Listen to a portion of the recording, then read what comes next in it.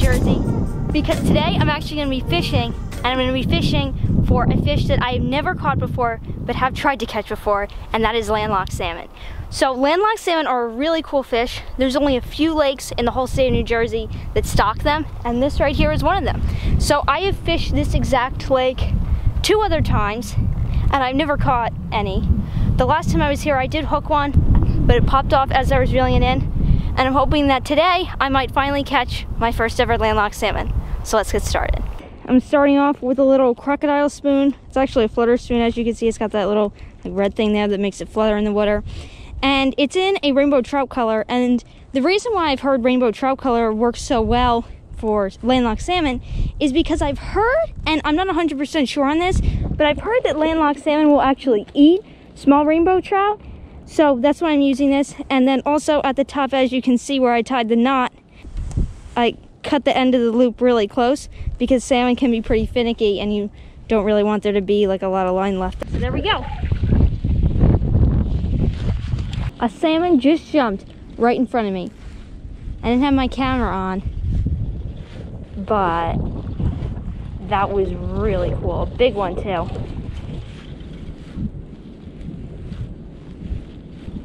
Trying kind of a different technique with this spoon instead of just reeling it in.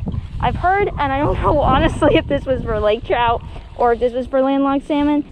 I've heard that uh, if you just let it sit and bounce it off the bottom, that works pretty well.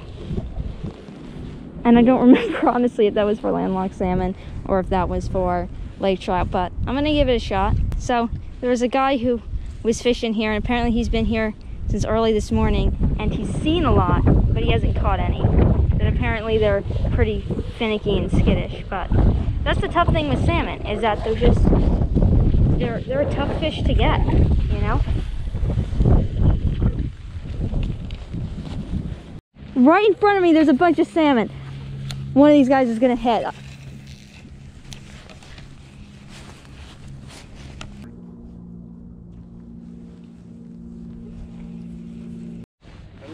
Dad, they're literally like coming toward you. They're right here in the middle, and they're by you. Are they still? They're coming through. Oh, my line's all messed up. Are they coming back? Yeah, they went back, they, they turned around and went the other way. Really? They were headed toward you. I know. They turned around though, I saw them.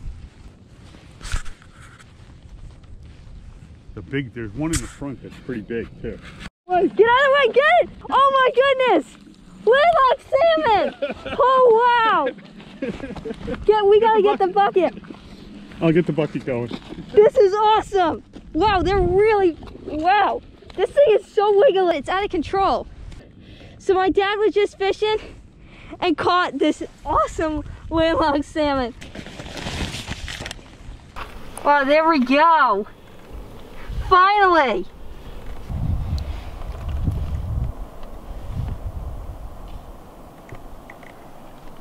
That water is frigid.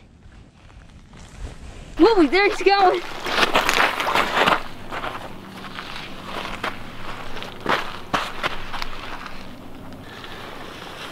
There he goes.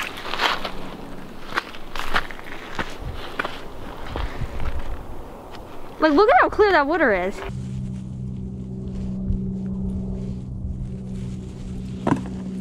There we go. First ever landlocked salmon. I didn't even catch it, but I'm still just so excited. I've always wanted to see one of those fish and get to film one and photograph one, and that was just awesome because I just got to do that. So there's still a bunch around. I still see them all swimming around. So hopefully I can catch one now too, but that was just awesome. I'm so excited. They're really cool. One thing that surprised me the most about them is how strong they are. Like I held it and you, they're so hard to hold. They're just so strong and feisty. They're jumping all over the place. So now I'm going over to the spot where I was originally fishing, the spot where I started off, because I keep seeing salmon jump right there. And I saw one jump and I just kept fishing at the same spot, but I kept seeing them repeatedly jump over here. So I'm gonna go take a few casts over there I, we switched up the baits. So I had been fishing with a blade bait and a spoon, and that's what my dad had been fishing with. And we were fishing for a bit and weren't catching anything. So then we both switched up to these little things right here, which is just a little jig head and a little kind of silvery tail. We were just casting those and jigging them in slowly, and my dad got one. So that was really awesome. And they're just such a cool fish. I love salmon. As I'm coming up here, I can see the salmon jumping. So right over there, that's where I have been fishing. And this is where I'm gonna try some casts and get one, hopefully.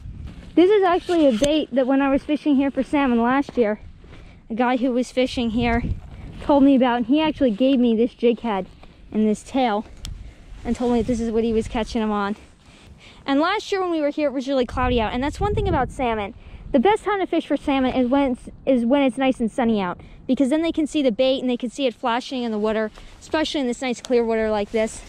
Whereas in years past when I've been here, it's been cloudy I think that definitely is part of the reason why we were able to catch one today and why we've seen so many seem to be pretty active.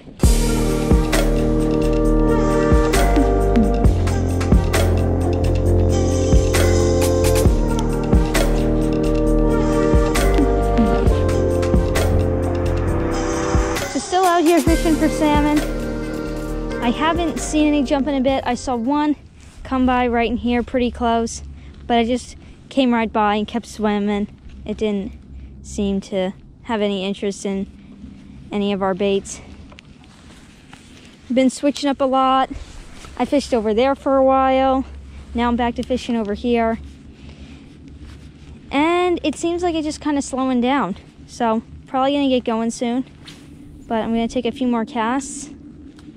See if we can get any others. But still really awesome and really excited that we at least got one.